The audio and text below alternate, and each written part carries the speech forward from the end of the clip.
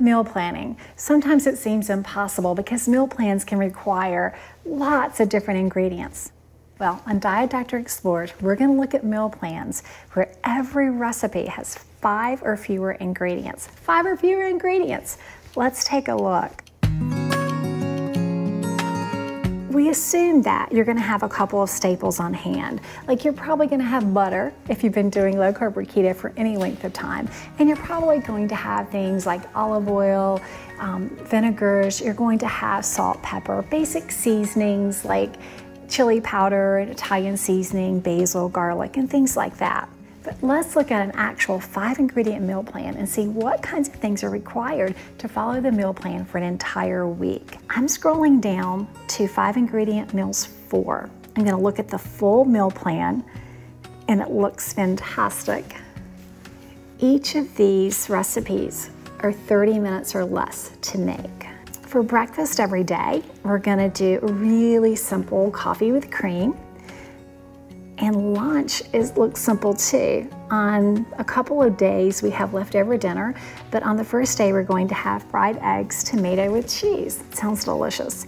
Now, I can skip to on the meal plan to a shopping list to see exactly what I need to buy and what I have on hand.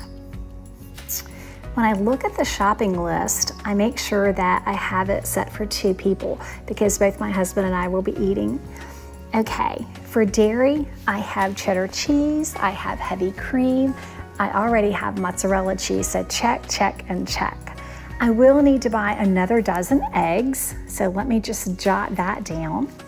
Um, I've got plenty of butter and I've got olive oil, so I'm good there.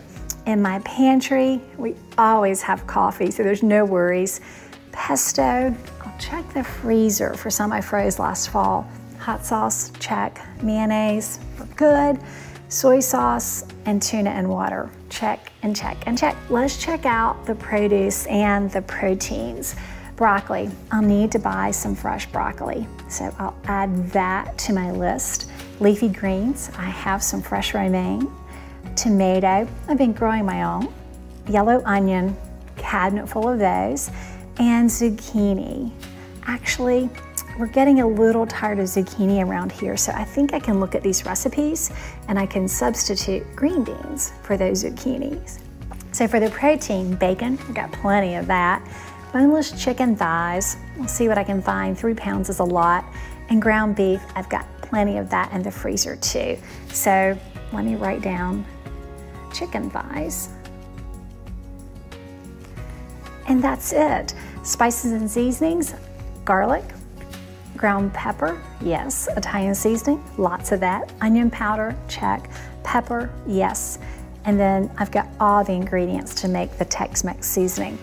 So to follow this meal plan for two people for one week, I have to buy a dozen eggs, some fresh broccoli, some zucchini or green beans, and chicken thighs, about three pounds. Guys, this is so easy. I'm gonna be in and out of the grocery store in no time. Using our five ingredient or fewer meal plans make it super simple to make dinner for the entire week. It makes it fast, it makes it really inexpensive because you're saving money by not buying a lot of ingredients that you might only use once. So check out the meal plans and hopefully this will make things easier for you and save you time and money.